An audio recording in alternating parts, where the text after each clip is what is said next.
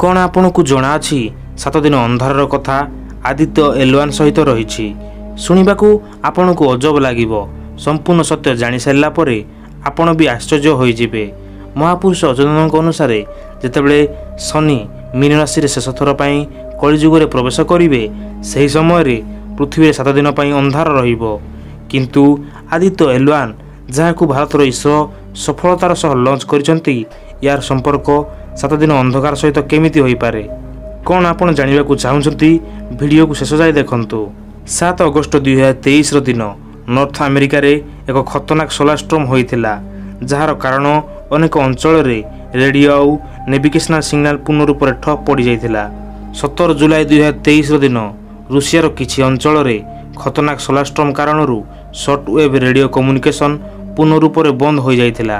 April ଦୁଇହଜାର ତେଇଶ Bharat Sri Lanka Bangladesh China South Korea ସମେତ ପାଖାପାଖି ପୁରା ଏସିଆ ମହାଦେଶରେ ଭୟଙ୍କର ସୋଲାର ଷ୍ଟର୍ମ ମାନେ ସୌରଝଡ଼ ହୋଇଥିଲା ଯାହାର ଫଳରେ ସର୍ଟ ୱେଭ୍ ରେଡ଼ିଓ କମ୍ୟୁନିକେସନ୍ ପୂର୍ଣ୍ଣ ରୂପରେ କିଛି ସମୟ ପାଇଁ ବନ୍ଦ ପଡ଼ିଯାଇଥିଲା। ଆପଣମାନଙ୍କ ମନରେ ପ୍ରଶ୍ନ ଆସୁଥିବ ଏ ସର୍ଟ ୱେଭ୍ ରେଡ଼ିଓ କମ୍ୟୁନିକେସନ୍ କେଉଁଥିରେ କାମରେ ଆସିଥାଏ? Short wave radio communication airports ଆଉ ପାଣିର ଜାହାଜରେ ମିଲିଟାରୀ ଇଣ୍ଟେଲିଜେନ୍ସରେ ବଡ଼ ସ୍ତରରେ ପ୍ରୟୋଗ କରାଯାଇଥାଏ। Short wave radio communication black out ହେବା ପରେ ସବୁ ସ୍ତରରେ ବିନାଶ ହୋଇପାରେ। ଥରେ ୟୁଏସ୍ରେ ନ୍ୟୁକ୍ଲିୟର ବେସ୍ରେ ଥିବା ନ୍ୟୁକ୍ଲିୟର ମିସାଇଲ୍ ନିଜେ ନିଜେ ଆକ୍ଟିଭେଟ୍ ହୋଇଯାଇଥିଲା। ଲଞ୍ଚର କାଉଣ୍ଟଡାଉନ୍ ବି ଆରମ୍ଭ ହୋଇଯାଇଥିଲା। କିନ୍ତୁ ସୈନିକଙ୍କର ଉପସ୍ଥିତି ବୁଦ୍ଧି ଯୋଗୁଁ ତୁରନ୍ତ ଡିଆକ୍ଟିଭେଟ୍ କରିଦିଆ ହୋଇଥିଲା। ନହେଲେ ଜଣା ନାହିଁ କ'ଣ ହୋଇଥାନ୍ତା। ପରେ ଜାଣିବାକୁ ମିଳିଲା ସୋଲାର ଷ୍ଟର୍ମ ଯୋଗୁଁ ନିଜେ ନିଜେ ମିସାଇଲ୍ ଆକ୍ଟିଭେଟ୍ ହୋଇଯାଇଥିଲା। ଆଉ ଥରେ ଏକ ଅଏଲ୍ ଟ୍ୟାଙ୍କର ତାର ନିର୍ଦ୍ଧାରିତ ଗତିପଥରେ ଯାଉଥିଲା। ରାସ୍ତା ନ ପାଇ ଅନ୍ୟ ଦେଶରେ ପହଞ୍ଚି ଯାଇଥିଲା।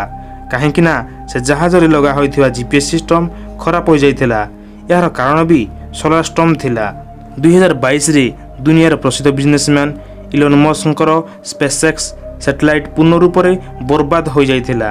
କାରଣ ଥିଲା ସୋଲାର ଷ୍ଟର୍ମ ବର୍ଷ ଦୁଇହଜାର ତେଇଶରେ ସୂର୍ଯ୍ୟଙ୍କର ଉପସ୍ଥିତି ଥିବା ସୂର୍ଯ୍ୟକଳଙ୍କ ଗତିବିଧି ବହୁତ ତୀବ୍ର ହୋଇଯାଇଛି। ସରଳ ଭାଷାରେ ବୁଝିବା ପାଇଁ ଚେଷ୍ଟା କଲେ ସୂର୍ଯ୍ୟରୁ ବେଳେବେଳେ ସୌରଝଡ଼ ସୃଷ୍ଟି ହୋଇଥାଏ ଯାହାଦ୍ୱାରା ସେଟେଲାଇଟ୍ରେ ମାଡ଼ ହୋଇଥାଏ ଯେତେ ଇଲେକ୍ଟ୍ରୋନିକ୍ସ ଡିଭାଇସ୍ କିଛି ସମୟ ପାଇଁ କିମ୍ବା ପୂର୍ଣ୍ଣ ରୂପରେ ବନ୍ଦ ହୋଇଯାଇଥାଏ। ଏ ସୋଲାର ଷ୍ଟର୍ମ ବା ସୌରଝଡ଼ କାରଣରୁ ମୋବାଇଲ ଟିଭି ରେଡ଼ିଓ ଭଳି ଇଲେକ୍ଟ୍ରୋନିକ୍ସ ସିଷ୍ଟମ ପୁରାପୁରି ଭାବରେ ବନ୍ଦ ହୋଇଯାଇଥାଏ।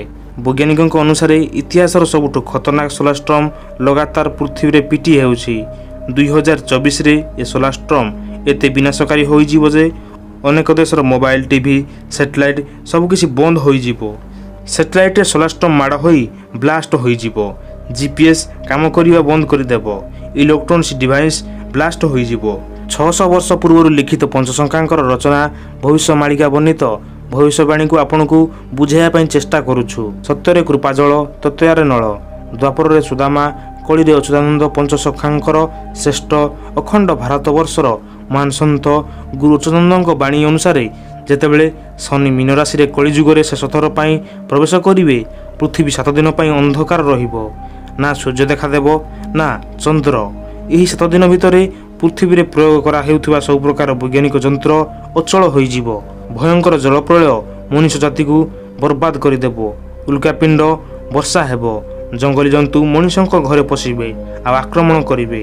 ଦେବତା ଓ ଅସୁରଙ୍କ ଭିତରେ ପୁଣି ଥରେ ଯୁଦ୍ଧ ଲାଗିବ ପୁଣି ଥରେ ହିମଯୁଗ ହେବ ଏସବୁର ଆରମ୍ଭ ଭୟଙ୍କର ସୋଲାର ଷ୍ଟର୍ମରୁ ହିଁ ହେବ। ଆପଣ ମାନନ୍ତୁ ବା ନ ମାନନ୍ତୁ ଯେତେବେଳେ ଛଅଶହ ବର୍ଷ ପୂର୍ବରୁ ନା କାଗଜ ଥିଲା ନା କଲମ ଥିଲା ସେହି ସମୟରେ ତାଳପତ୍ରରେ କଳିଯୁଗର ଅନ୍ତର ସଠିକ୍ ଭବିଷ୍ୟବାଣୀ କରିଦେଇଥିଲେ। ଏବେ ପ୍ରଶ୍ନ ଆସେ କି ଭାରତର ଇସ୍ରୋ ଦ୍ୱାରା ପଠା ହୋଇଥିବା ଆଦିତ୍ୟ ଏଲୱାନର ସମ୍ବନ୍ଧ ସାତ ଦିନ ଅନ୍ଧକାର ସହିତ କେମିତି ରହିଛି? ସୂର୍ଯ୍ୟର ଅଧିକ ତଥ୍ୟ ପାଇଁ ଆଦିତ୍ୟ ଏଲୱାନ ଲଞ୍ଚ ହୋଇସାରିଛି। ଭାରତର ଶ୍ରେଷ୍ଠ ସ୍ପେସ୍ ଏଜେନ୍ସି ଇସ୍ରୋ ଦ୍ୱାରା ପଠାଇଥିବା ଆଦିତ୍ୟ ଏଲୱାନ ସୋଲାର ଯାନ ସୂର୍ଯ୍ୟରେ ଓହଲାଇବ ନାହିଁ ସୂର୍ଯ୍ୟରୁ କିଛି ଦୂରରେ ରହି ତାର ସନ୍ଧାନ କରିବ ଆଉ ସୌରଝଡ଼ ହେବା ପୂର୍ବରୁ ସନ୍ଧାନ ଆଗ ଦେବ ଆଦିତ୍ୟ ଏଲୱାନ ପୂର୍ଣ୍ଣ ରୂପରେ ସୂର୍ଯ୍ୟର ଗତିବିଧିକୁ ନଜର ରଖିବ ଆଶା କରୁଛି ଭିଡ଼ିଓଟି ଭଲ ଲାଗିଥିବ ଯଦି ଭିଡ଼ିଓଟି ଭଲ ଲାଗିଛି ସବସ୍କ୍ରାଇବ୍ କରି ପାଖରେ ଥିବା ବେଲ୍ ଆଇକନ୍କୁ ପ୍ରେସ୍ କରନ୍ତୁ ଜୟ ଜଗନ୍ନାଥ ଜୟ ପଞ୍ଚସଖା